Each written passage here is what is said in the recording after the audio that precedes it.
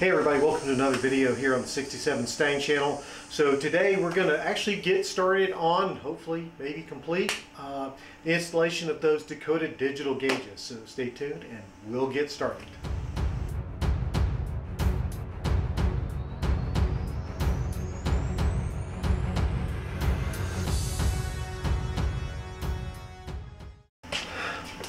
Everybody, as I said, we're going to get started on finally getting these Dakota digital gauges installed. I know I've had them for a long time. Sorry I haven't installed them sooner, uh, but honestly I've just enjoyed driving the car. Getting out and taking it down the road uh, is just so much fun, right?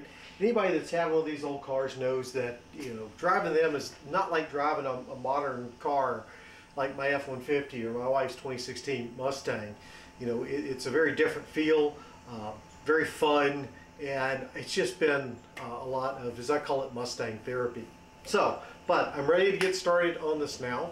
But before I do, I, I did want to pass along some, some sad news. Um, this past Friday, let me back up. Some of y'all may remember in past videos seeing the orange and white kitty uh, that we call Sokos. Um, he would come in, he was an indoor-outdoor cat, very sweet to everybody, We've had him for 10 or 11 years. Uh, he was a feral kitten that was born under my mother-in-law's house that we were able to catch. He was the only one of that litter we could catch. As far as I know, the only one that survived. Um, but he became our our cat. He uh, was very much part of the family. He, he loved our dogs. His best friend was our dog Cooper.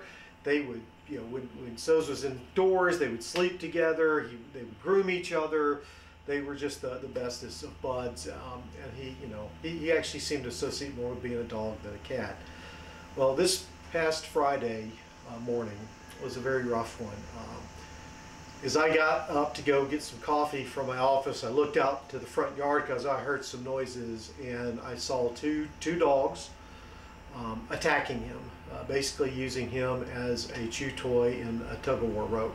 Um, I went running as fast as I can to get to him. The, the dogs dropped, dropped him, dropped Sokos, and came running up to me with tails wagging, wanting to be patted. Uh, so they were, I, they were very sweet dogs. I think they were a pit bull mix. Um, not that that's anything. I, have nothing against pit bulls. I, I know that they are very misunderstood in many cases, whatnot. But um, these dogs ran loose and attacked Sos in his own yard, uh, and sadly he, he didn't make it. So uh, a little bit heartbroken about that. Uh, we've lost many animals in the past, uh, but those have all been due to some sort of illness or just old age. So to lose one this brutally is, is a bit rough. Um, so sadly we won't be seeing SoCos on the channel anymore. So anyway, um, I just had to share that with y'all uh, because he had been in several videos walking through here. He was kind of our, our garage kitty. But anyway, with that, let's get over here. Uh, I pulled the gauges down uh, from the box where I had them sitting. So I want to go through, look at what's in there.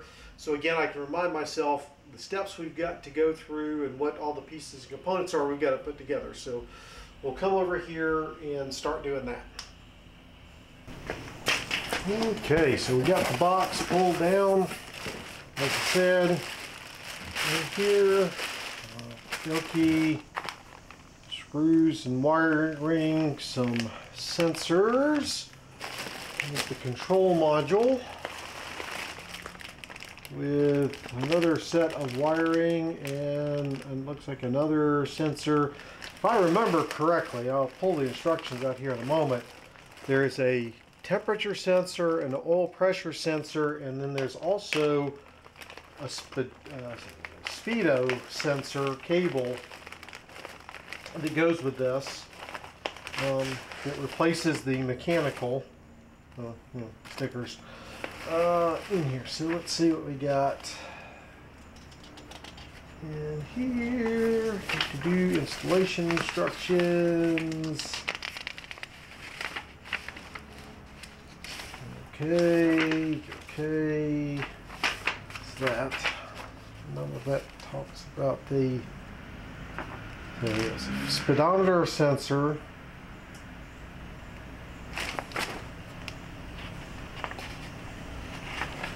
Fuel instru more setup instructions.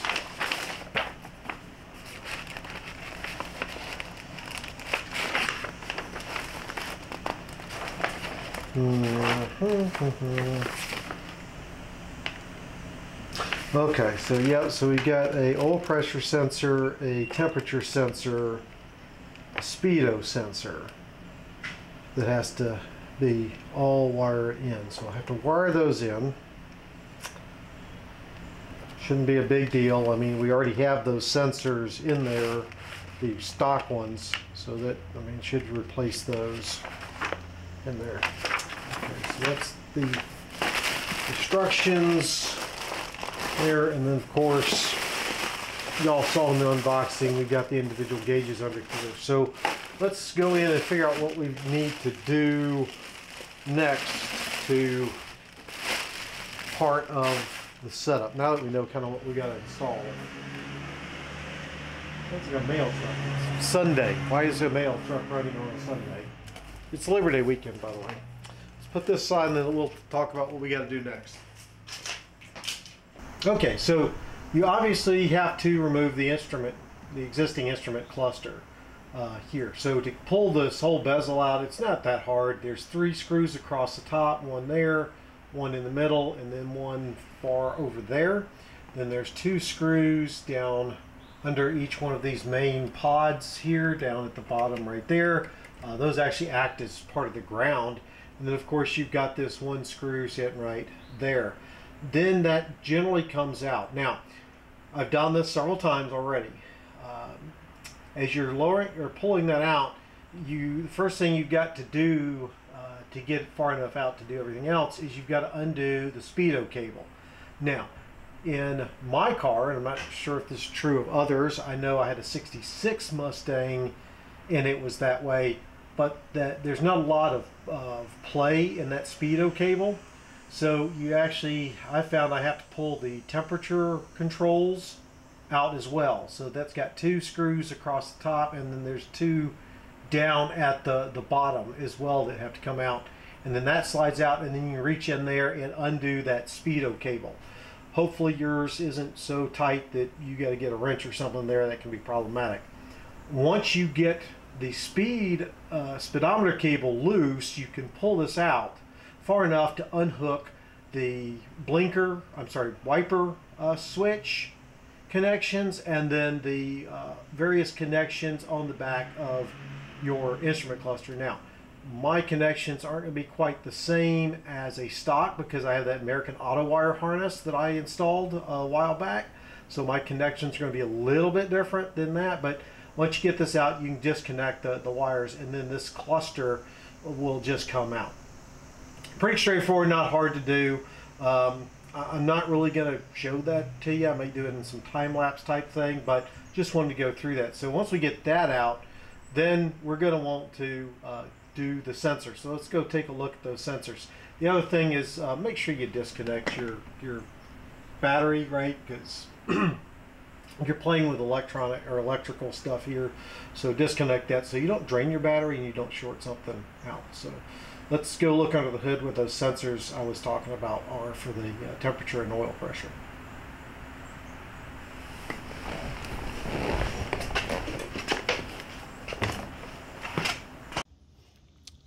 Okay, so up under here you've got the temperature sensor and the oil pressure sensor. The temperature sensor is right here this is not the stock location. The stock location is actually back on the back side of the block uh, over there. I've got the Holley sensor for this EFI there. So put the temperature sensor for the gauges up here. Um, keeping in mind that I'm not sure how accurate this is going to be to start with because it doesn't start getting uh, flow through there until the thermostat opens, but I don't know of any other good place to, to put it. And I need the Holley to have a good sense of the temperature. So I'm to leave it back there. Um, now, right here, you can see that cylinder right there. That's the oil pressure sending unit that goes to the stock gauge. Now, because my gauges weren't working, I installed a, uh, separate under the hood gauge. You can see it right there, the, the black one uh, there, so I could at least have some sense of what the oil pressure was because my gauge wasn't working. So I'll just replace the stock sending unit with the one that comes with the Dakota digital gauges there. So that's going to be, you know, this stuff up here is going to be fairly simple. Um, because this is where it is, if I unscrew that, uh, I shouldn't lose a lot of coolant. May some, I don't know. I will obviously put a drip pan under there. And then where that uh, is because the, the engine's not running the oil pressure, there should be no oil that comes out of there because there's no pressure on it. So that should be fine to come out, should be fairly easy peasy to, to do. The next part is going to be down at the transmission. And keep in mind, I'm going to be showing you with a C4 transmission. This is an automatic transmission. I don't know how this would work in a three-speed or a four-speed. Um, obviously, with the inline six, I don't think you'd have a four speed. You might have a three speed though. So let's get down and show where the speedo cable connects in. What we got to do there. Okie dokie. So right there, you can see that's where the speedo cable goes into the back of the transmission. Uh, you can see if you follow it back, there's the drive shaft connecting in there and then it goes up into the transmission mount on the back and then into the rest of the transmission. So there's a gear in there that's got to come out uh, and this whole cable has got to come out. Now the way this works is it the gear spins a uh, shaft that's connected to a, a cable inside this housing or this tube here uh, that goes up and follow it up. Um, if you can see it, it's hard to see. Anyway, up and that runs back up in through the firewall and then up back to the back of the speedometer. And as that gear rotates, it rotates the cable, which then rotates the speedometer and indicates the speed. So this is now going to be changed to an electrical um, type uh, connection in there, so we'll have to replace that whole cable going up. So that, that's going to be fun to figure that one out and how that connects. So we'll have to, to do that too. And it looks like there's a leak back there, so maybe this is a good time to put it in and it won't leak anymore because it looks like it's leaking from there and I didn't notice that until now. So very, very good. So that's going to require us to jack the, get the car jacked up to do that change. Um, that will leak, by the way. You will get transmission fluid out of there, so be aware of that. Looking back there, looks like my seal is good. Um, thing I want to do while I'm here. Okay, good. That U-joint I was worried about. Seems like it's okay. Anyway, um, so now let's go ahead and start pulling things out and changing things out. I'm going to start by pulling the instrument cluster out of the car. Well, first I'm going to start by disconnecting the battery. Then I'll pull the instrument cluster out of the car. Okay, so you can see we've got the instrument cluster out. I did have one little snafu. The screw that goes up in here um, was messed up. It got stuck and hung up in the bezel. And you can see, let's see, I kind of got that boogered up trying to get it out. I want to thank my good friend and colleague uh, Tim Gaunt for coming over and helping to get that out of there. It was not easy, but we got it out. Uh, the one thing I did want to mention that I forgot when showing you all the screws, there is a, uh, well, a screw on the bezel here that's got a, a nut on the back of it. Uh, it goes into here and so the through there so the easiest way if you have one to get that out uh, pull the radio bezel out here. Uh, you can't get through it through here because there's a solid plate, uh, just solid metal back there. Uh, so you pull this out and then you can get to it. I don't didn't have a nut on there. It was loose, so I didn't have to deal with that. But um, yeah, so anyway, instrument cluster is out. Now to go pull the gauges off, put the new gauges on to here. So we'll go do that now. Okay, folks, you can see I've got the cluster out of the car. I'm inside because it's cooler inside. So the first step, once this is out, is to remove the old um, casing, I guess, that can has the gauges in it. So I'm going to go ahead and do that. Let's see, one of the lights came out. For, I'm not sure what that's for. Anyway. So this is simple. It's just a series of Phillips head screws located around the, the bezel. I should mention, if I haven't already, that the uh, Dakota gauges uh, will fit the stock bezel for, uh, in this case, the 67, 68 Mustang. Uh, but it does not include the bezel. So now if you've got one that's in rough shape, now would be a good time to replace that if you want to. So I'm going to go through and go ahead and take this off. Um, probably will fast forward through this part because, you know, it's just taking out screws. So.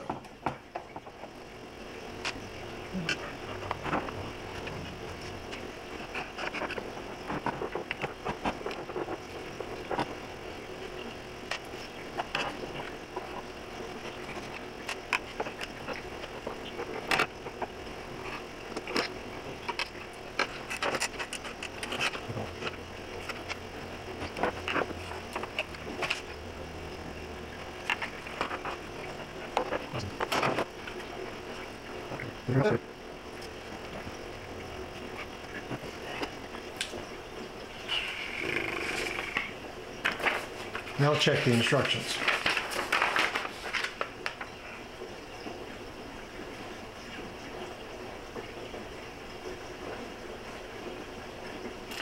Okay. You also take off the lenses.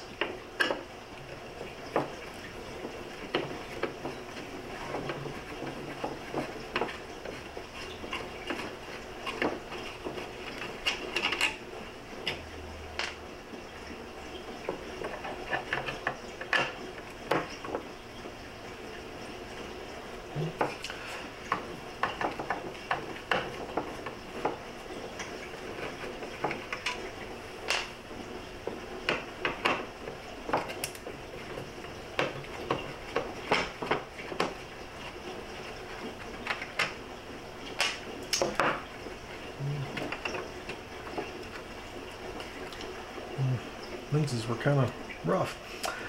Okay, so I'm gonna go ahead and finish doing the rest of this, get it down to ready to uh, install the gauges on here, uh, and I'll come come back. No point in watching you sitting and watching me take out screws. You know how to take out screws.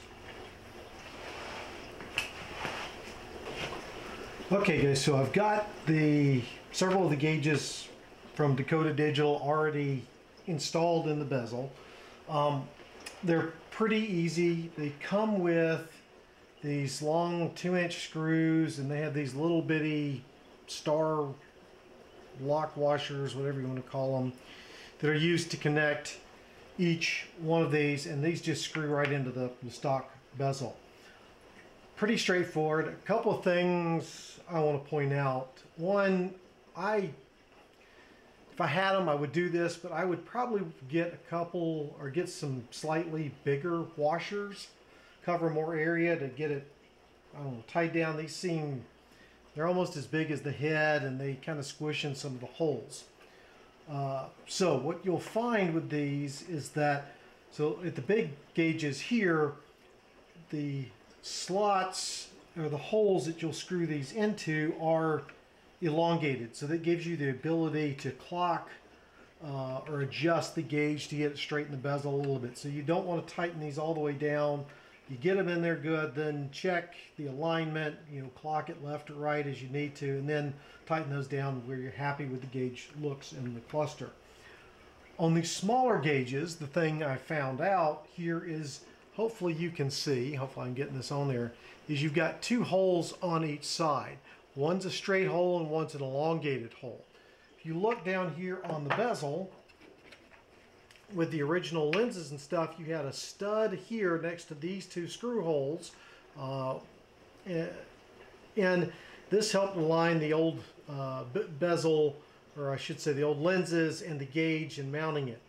So you would think that this would be the same, that those two straight pins would align with this, and then the elongated holes would put in the screws and you could adjust accordingly.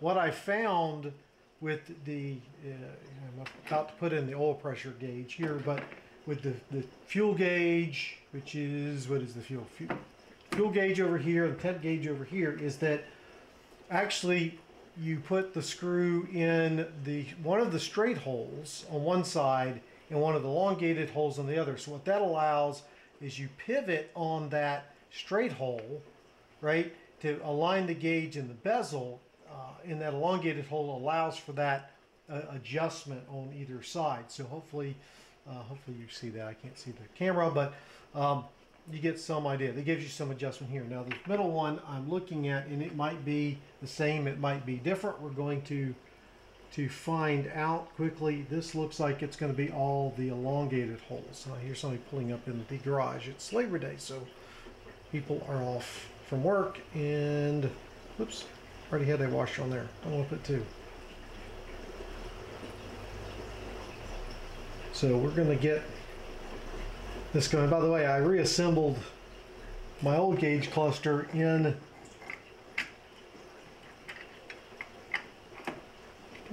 got a hair down in there. In my old bezel that I had. And I say it's old. It wasn't original the car. It's actually one I replaced in the 80s. Yeah, this is going to line up. The center one is lining up on the two elongated ones. So that's interesting. I, I guess this is all because of the different cars this can theoretically fit um, and how they're different, you know, gauge clusters are, are put together. So anyway, I'm going to get this screwed in, but yeah, this is on the elongated side on both of those. So you can see this has got some adjustment in it. So I'm going to get this screwed down and we'll see what goes next, which is somehow all this stuff has got to connect together. So we'll figure that out.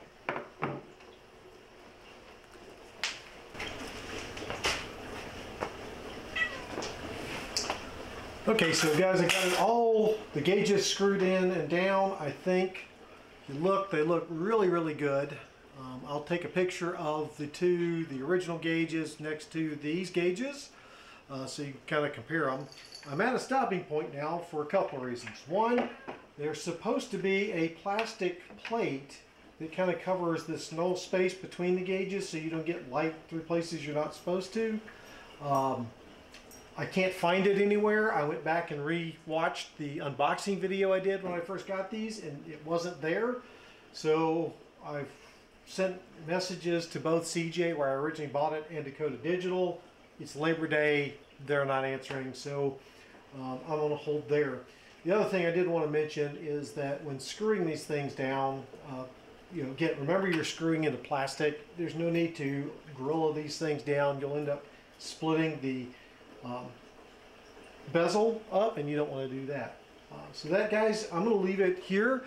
Next video we'll get into doing the actual install of the sensors, running the wires, setting up the control box, uh, those kind of things. But like I said, I can't really kind of do anything until I get this stuff done. And it's hot outside and I really don't want to go work outside. So with that guys, hope you liked the video. Make sure to give it a thumbs up if you did and I will see y'all next time.